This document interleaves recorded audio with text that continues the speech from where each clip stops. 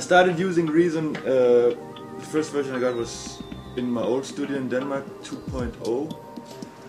And then later on, when I joined Ima Robot, I was figuring out how to make a setup for for live, and I don't like carrying old big vintage synthesizers with me, so I was like figuring out how how I can make it easy and precise. If I have a 61 key MIDI keyboard, I would use one octave for like putting samples.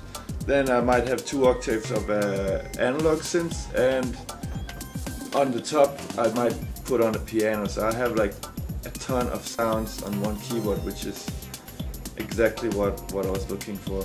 On the fly I can just make all the changes I can, assign controllers. It's just it's just like having a workstation with a very much better display basically, you know.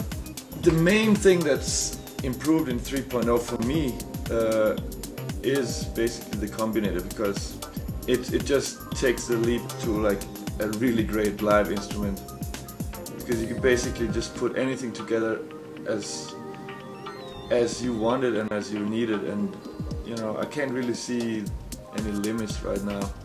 It's the only only piece of software like music software I've experienced that hasn't crashed on me yet. Not one single time. So like in the studio we use it all the time. During recording I'll be sampling all those things and putting them together to like make the live setup during recording basically. Uh, so when we're ready to go on tour I'll, I'll have it all dialed in on the Reason thing. It's gonna be good.